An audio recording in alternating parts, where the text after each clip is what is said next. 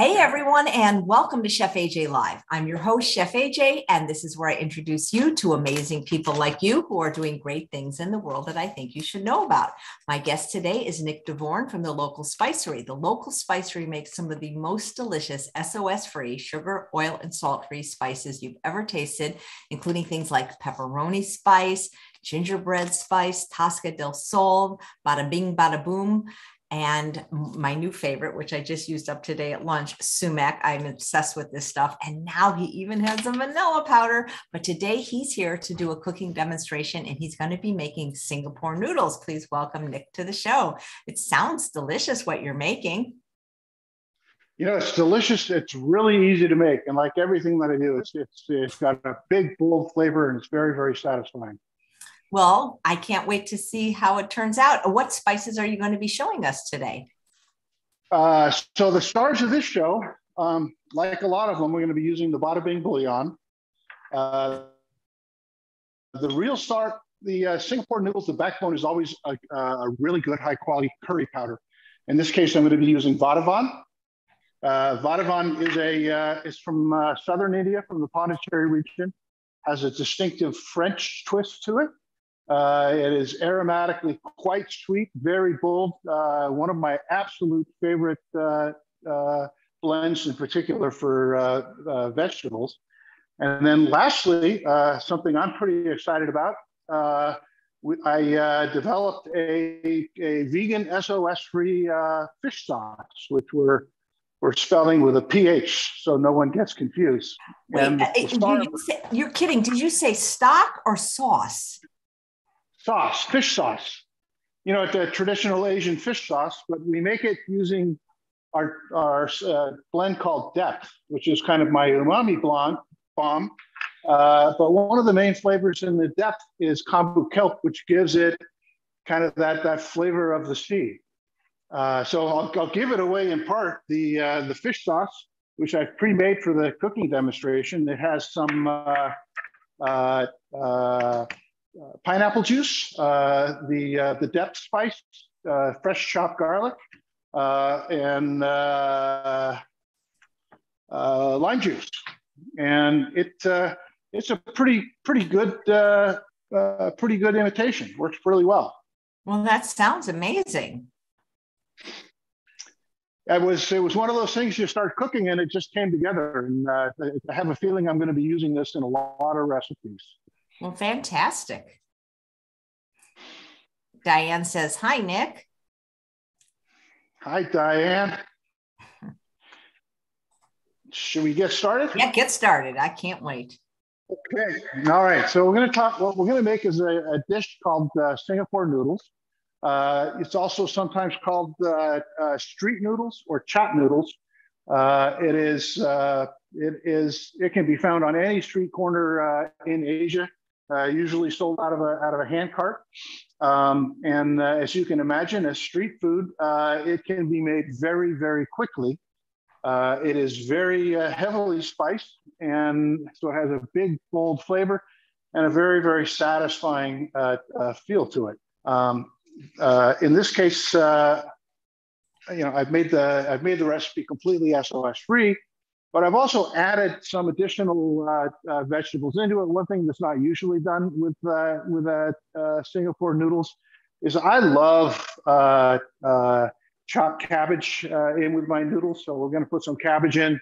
We've got some carrots. We've got some some other things. So it's it's really it's a big saute of noodles with the vegetables, with the fish sauce, and then just to put some some additional interest into it we're going to do a very, very quick uh, uh, uh, tofu balsamic uh, that we'll put on top. I think I've, I kind of refer, refer to these, like, these uh, generically as flavor bombs. These are little flavor bombs.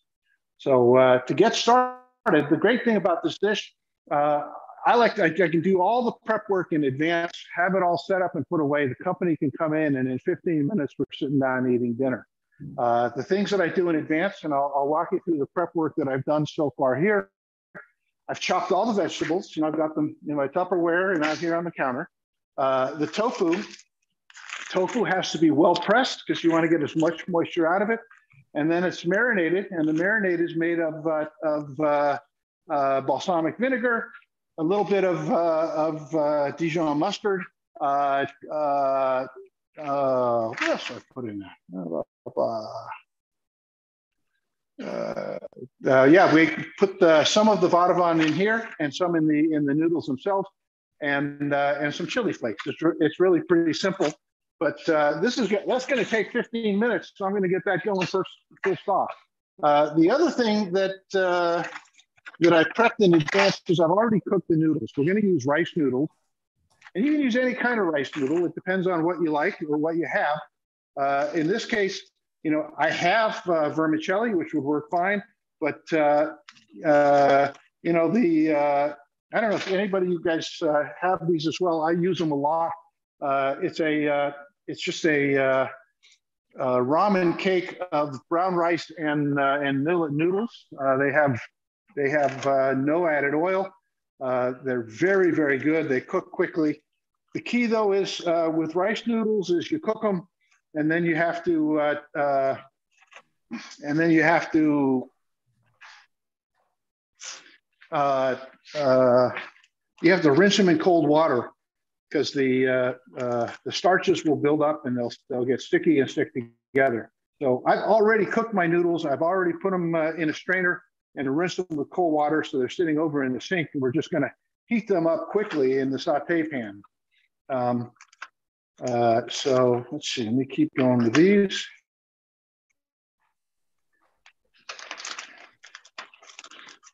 Hey Nick, can you talk about the, the key to the uh, can you hear me? Talk about, yeah. Oh, okay. Talk about what? Um, well, Wanda's asking if the fish sauce would be good in pad thai. Yeah, I think so. That's going to be probably the next thing I try. But yeah, you know, pad thai has been a heartbreaker for me because it's one of my really favorite dishes. And SOS free, I just haven't been able to, to, to, to match the flavor of fish sauce. So I absolutely intend to do that very soon. Talk a little bit about the bada bing because I don't think people realize that they can be making their own broth and saving a lot of money on the boxes. Yeah, a lot of money and a lot of time. Bada bing, like a, like a lot of things we do, it's really simple.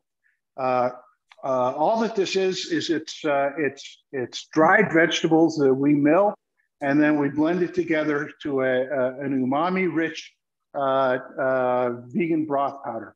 Uh, one tablespoon of the of the bada bing powder with a cup of hot water, and you've instantly got a broth that is suitable for anything that you're cooking. I, I, use it sometimes just to make a make a bowl of ramen, but most commonly uh, when I'm you know when I'm sautéing without uh, without oil and the, the, the pot starts to get glazed over, uh, it's the perfect deglazer. You know, the water's nice, but with the bada bing, it adds uh, adds a lot of richness to it. Let me just see what's going on here. Yeah, we're heating up. Okay, so the uh, the tofu is just going to go in the air fryer. I want this to cook a total of 15 minutes, but about halfway through, I'm going to pull it out and I'm going to flip it over. So I've just got it set for 15 minutes at 400, which should be plenty. Um, the uh, uh, so with that going, the uh, the other thing that I did in advance, so I, I, told you I did the fish sauce, I did the marinade, and now let's get started on the uh, on the saute. Nick, what's above your pantry? Is that a moose or a cow? That's a cow.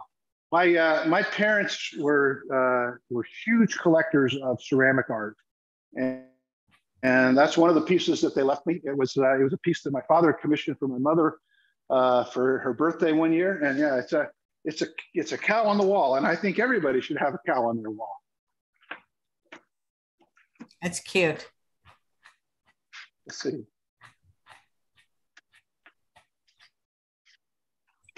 Hey, All how, right. Nick, how come? I'm just curious. Um, how come, you know, because I've got into sumac lately and I've been getting it from you, and some other people were ordering it on Amazon and then they got it and it had salt in it. The whole purpose yeah. of sumac is so that you don't use salt. Why are some companies putting salt in their sumac? So it's it's pretty traditional. I think the vast majority of the sumac that uh, is out in the marketplace, I would say well over 90% of it has been treated with uh, with salt and with vegetable oil. You know, in the Middle East, they'll uh, they'll harvest it and they'll use that in the drying. uh, you know, we uh, we're very careful with our uh, uh, with our sourcing, and what we get is has has no added salt, no added oil. It's just uh, just solar dried sumac berry ground into a powder. It's hard to find that way, but it's a good question because you do have to be careful. Um, a lot of people aren't even aware that the sumac that they're selling has salt and the regulations written by uh, US FDA are a little bit vague about what you have to or not disclose. Uh, specifically, spices that you can just use the word spices and put anything that you want in the dish.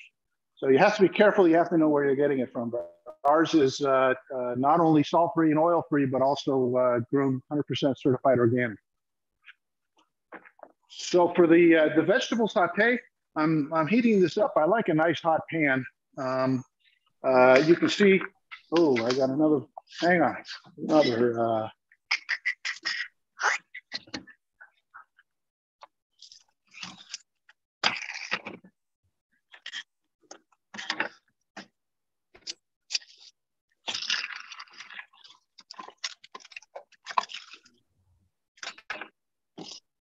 can't find my onions. Well, that's not good. oh, we have plenty. I'll just I can just slice them up quickly if I have to. I hope not though. I thought I had them done in advance. Where did I put them in? Should have had them all together. Okay, we're gonna we're gonna quickly slice some onions here. Sorry about that.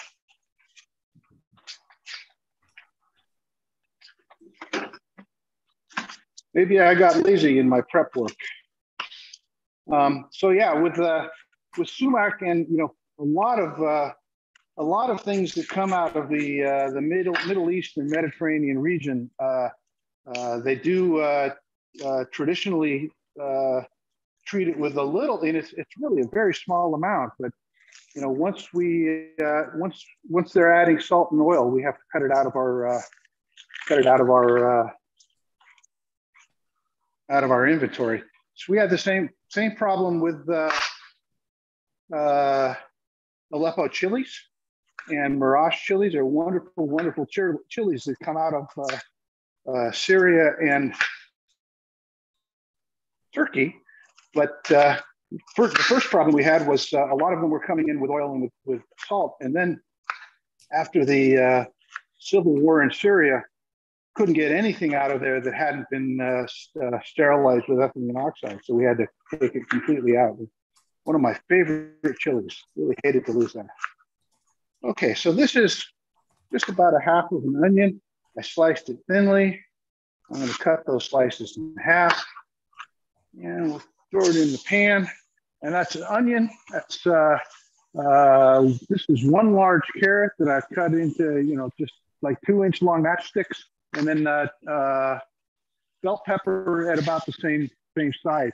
You want your pieces really thin so that they cook quickly, uh, because this is you know they're going to get like four or five minutes max here, and uh, and they have to be have to be uh, cooked all the way through. Let's see. Okay, that's ten minutes. I got about another two minutes before I have to flip the uh, tofu. So yeah, good question on the on the uh, sumac, and I agree with you. It is it, sumac is almost the perfect uh, salt substitute. You and I have talked a lot about salt substitution, what really can substitute for salt. The great thing about sumac is, you know, it's it's uh, it's sour, but it's also got the berry tones in. In this case, I'm not just talking about a sickly sweet kind of a berry tone. We're talking about a berry tone that adds, you know, richness and depth. And uh, uh, you know, to, to, to, be a true salt substitute, you have to not only approximate the salty flavor, but somehow you have to restore the umamis that uh, that salt creates. Because when you cook with salt, it breaks down the fats and and, uh, and releases umami uh, uh aromatically. Do people ever get whole whole sumac berries, or they don't come that way? They can. They're, it's hard, really hard to find. Uh, we got it a lot for a while and, uh, and tried milling it ourselves. Uh, it was one of those products that was just too wet for us to do in a, in a hammer mill and nothing else would really do it satisfactorily. So there are there are recipes that call for it. It is possible to get, but uh, uh, we don't carry it like that anymore. That we just didn't have the demand and we couldn't mill it ourselves.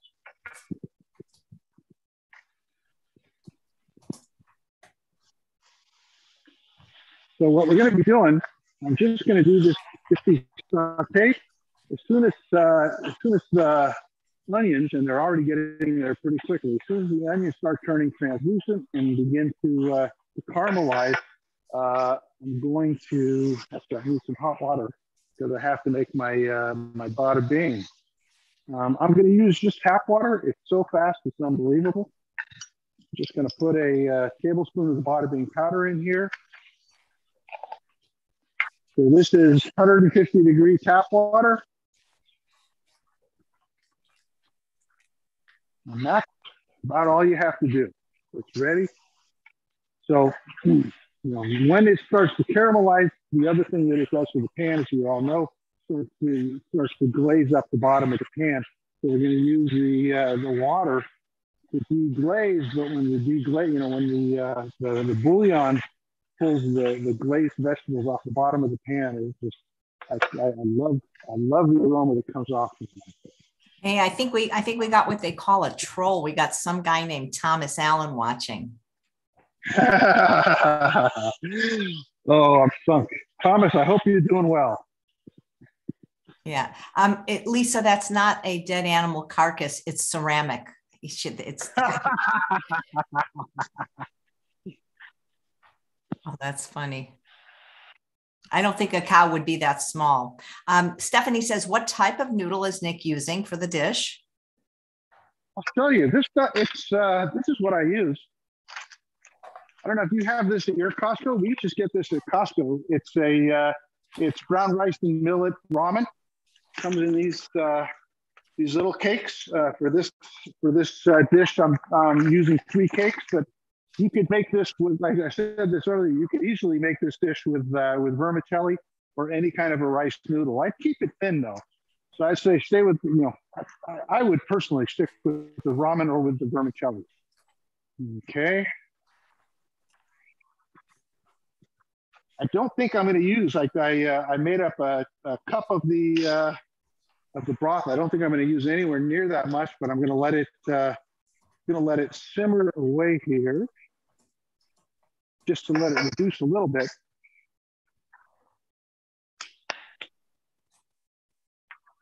Actually, I think right now I'm going to go ahead and add. Uh, this is uh, this is some fresh ginger.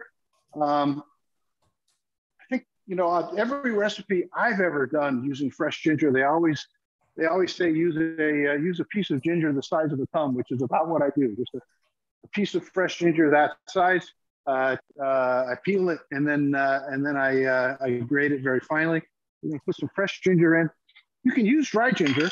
Um, uh, the dry ginger, no matter what, it's never going to be as sweet as the fresh ginger, which is what I'm going for here. What if you have really big thumbs? so when we put our when we put the safety labels on our jars, Evelyn uses she puts her thumb up against it to get the right the right uh, width. And we do have a problem because there is a distinct difference between the thickness of my fat thumbs and her lovely dainty thumbs. Okay, we're getting close. All right, we're gonna put the, uh, the Vadouvan in. Um, I'm putting in two tablespoons. So Vadouvan comes from the Pondicherry region. Pondicherry uh, historically was a uh, French colony, which is where the uh, uh which is where the French influence comes into the uh, into the, uh, the, the food. Vadouvan is always blended with uh, with uh, shallots and onions. Um, and in fact, as a flavor, oh man, the aromatics coming off of this are just unbelievable. Okay, so last vegetable that I'm going to add to this is going to be my uh, my half of a cap. This is a half of a small cabbage. Um, uh, there's a guy at the farmer's market I used to buy all my cabbages from, and uh, and he always gave me the thumbs up when he saw me buying the small cabbages. I bought them because it's just two of us here, but uh, he told me in no uncertain terms that uh, uh, small cabbages are much sweeter than large cabbages. But This is a uh, just a half of a small cabbage. Slice it as thinly as, as I can. Um, uh, you know, I wouldn't wouldn't hold back on using a mandolin if if you have one and you're uh, you're not scared of cutting your thumbs off. Um, I, I, have one. I use it from time to time. In this case, I just use my uh, I just use my uh, uh, my knife, my, my chef's knife. Okay. All right. Let's uh, blah blah blah. I'm going to need this. I'm going to let's pull the tofu. It's just a little bit overcooked, but it's all right. And then just quickly turn it over so you can get the backside. Yeah, it's stuck a little bit. So I've got this.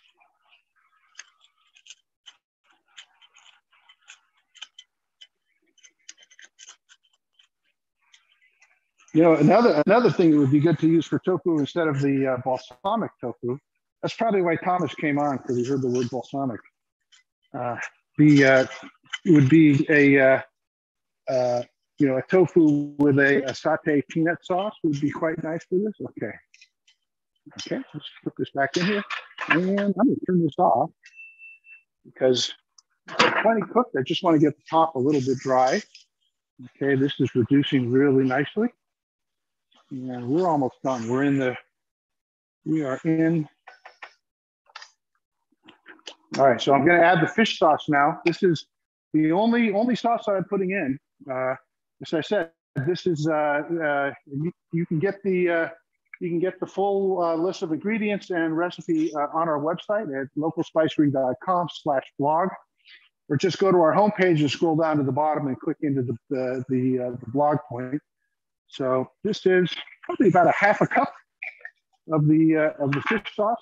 You'll notice we get asked all the time, "What do I do with your jars when I'm done with them?" This is what I do with them. It's it's the perfect size for this sort of thing. All right. Oh, AJ, we got to find a way that we can transmit on these things the, the aromas because I just, the aromas just knocked me out. And then last, I'm going to throw, there's my, uh, my rice noodles going in. So these. At this point, the name of the game is really just to get it all heated up. We're just going to stir it around so that it's well blended. And that the vegetables are stirred in with the noodles. And that is really, there is the basics of your chop noodles, your Singapore noodles, your street noodles. Now, what I, one of the great things about this dish, this is one of the reasons why I wanted to share it with you, people ask all the time for uh, you know how do I how do I cook with your spices? And this is a great dish. I use vadouvan but there's no reason you couldn't use any other uh, uh, curry, and it takes you in a totally different direction. You know, you could uh, you could make the soul the same thing using El Hanout, which is a, uh, a Moroccan curry, and you get a more distinctively Moroccan flavor to it. Uh, you could use Bo Kaap curry, which is kind of a Malaysian, uh, uh, South African flavor. It's a very, very different flavor. It makes it a different dish. Um, uh, madras, which is another Southern Indian curry, but it's not not as sweet as the Vadouvan. It's more of a of a uh, uh, a savory kind of curry. another one, one of my favorites, the Jin Yong, which is our Cantonese blend, gives you more of a Chinese flavor. So this is a simple, basic dish that uh, you could pull it in any direction that you want to pull it and, uh, and, and be completely culturally accurate. Okay.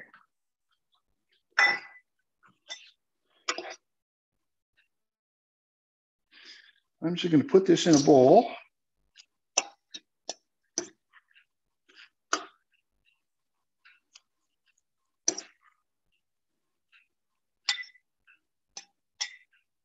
Okay. Uh, we'll put a little bit of tofu on top.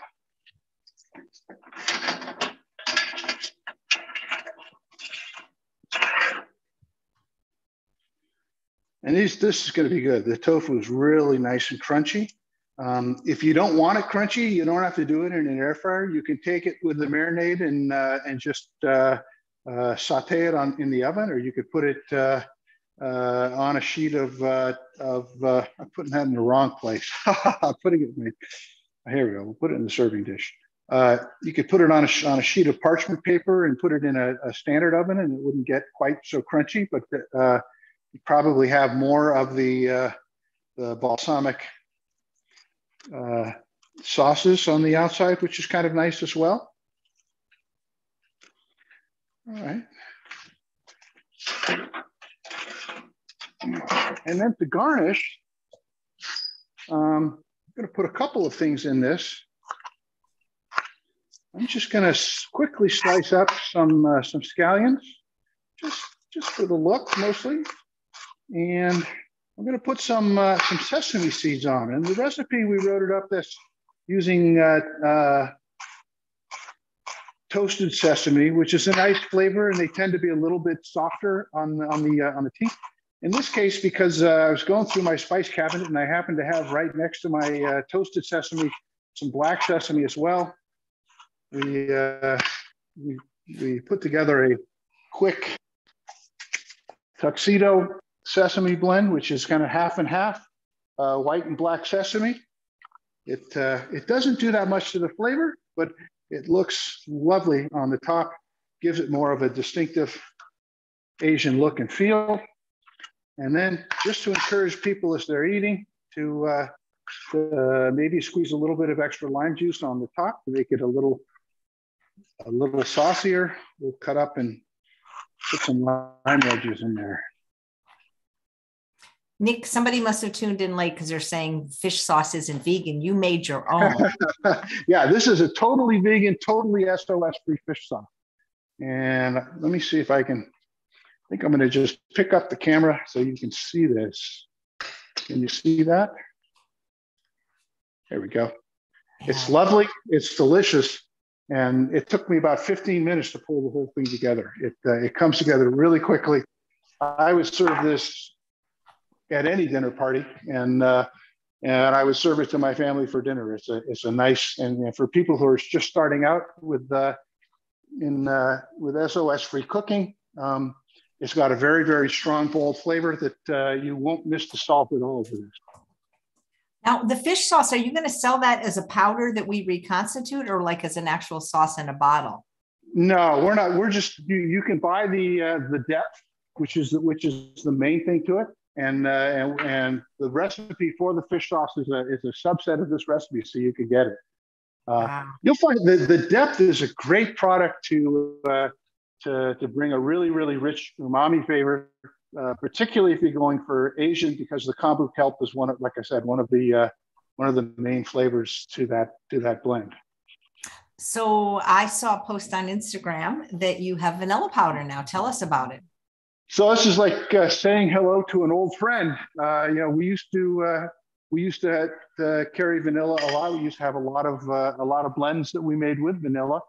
Uh, some of the some of of our blends we had to reconstitute the recipe to cut the vanilla out when vanilla got too expensive. Um, some of them we we cut out altogether, but for us, vanilla always included a particular company uh, that we're, we're very close to and uh, we're quite enamored with. The company is called Lafaza, And this will be the only product that we sell that, uh, that has the name of another company on it. It says Lafaza on the jar. Uh, this is a, the company, it's, uh, it's two brothers. Uh, the older brother went to um, uh, went to Madagascar with the Peace Corps, where he fell in love with the, with the culture and the people and the land, and he just didn't want to come back. Uh, and the two brothers decided to form a vanilla company uh, where they worked very, very closely with the community in, in Madagascar. Uh, long before anybody was talking about uh, uh, fair trade, these guys were funneling their profits back into the community. They're building libraries, they're building uh, schools, they're working with the farmers to help them, you know, establish you know better better practices for for sanitary purposes. They're just wonderful people. They're doing the right thing, and because they're so close to the farmers, they get the absolute highest quality uh, vanilla anywhere. So we're really proud to be carrying Lafaza vanilla. we have it in these uh, one ounce jars. Uh, I'm not sure exactly what the price point is. We, we, we just put it up. We've been kind of going back and forth, but it's probably going to be around $20 for a, uh, a one ounce jar. Uh, Madagascan vanilla is, you know, 90% of the vanilla in the world comes out of Madagascar now. And uh, uh, it has a, a, very, very strong, very rich, powerful flavor. It's, uh, it's considered, you know, if not the best, one of the best uh, vanillas in the world. In my mind, I would rate uh, Madagascan and, uh, and uh, Mexican Veracruz vanilla as, uh, as top of the tops. Wow, thanks. Maybe you'll come next time you come back, you'll do a recipe using the vanilla. Absolutely. And actually, uh, probably by next week, we already have it up on the website and we've already sold a bunch of jars of it. But uh, one of our more popular blends with vanilla is called Dark. Uh, and it's a it's a it's a rich, sweet, aromatic, uh, spicy blend. It's it's got a ton of vanilla. It's like 60% vanilla, but uh, the rest of it is uh, sweet chilies, kind of like a, a, a, Central American cocoa, but also some highly aromatic, some cardamom, some star anise, some cinnamons.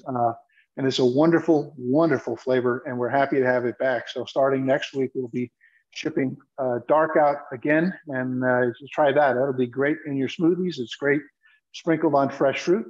Actually, it was one. It was a flavor that I originally created specifically to go with uh, chocolate. Uh, it, it is wonderful, uh, blended with chocolate or sprinkled on top of something with chocolate.